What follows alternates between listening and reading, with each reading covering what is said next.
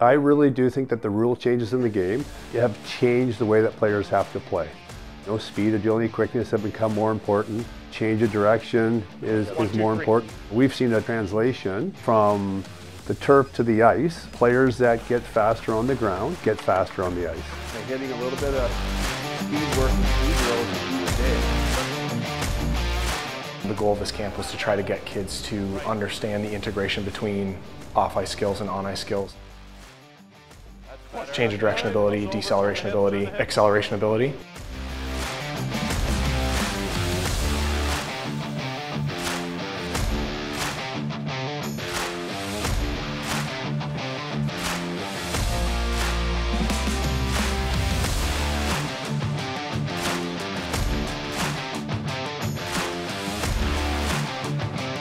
We're looking forward to doing more of these. We hope to see people back again. Eh? Good work. That's the way to work.